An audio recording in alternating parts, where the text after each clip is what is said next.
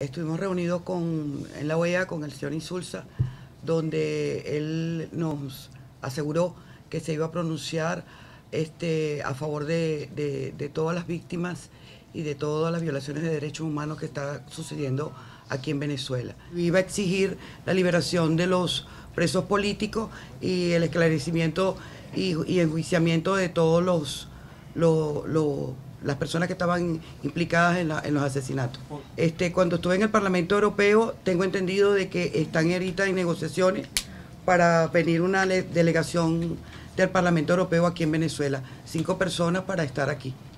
Y en la reunión del vicepresidente de Estados Unidos, George Biden, este, tuvimos una reunión muy cordial, muy, muy humana.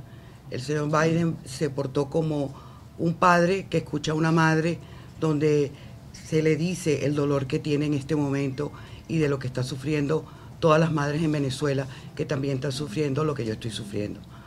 Él me preguntó que por qué razón este, estábamos ahí, porque estábamos, aparte de que eh, yo le podría este, decir lo que yo sentía por el dolor que puedo tener por madre. Yo le decía, yo lo que no quiero es que más madres en Venezuela sigamos sufriendo lo que estamos sufriendo. Necesitamos que alguien este, en derechos humanos lamentablemente en Venezuela no lo existe, y alguien de derechos humanos, alguien que se preocupe por lo que está sucediendo a nivel de derechos humanos.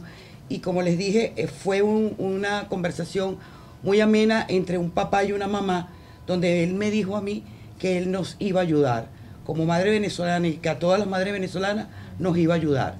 Este, que estuviera tranquila, pero él nos iba a ayudar.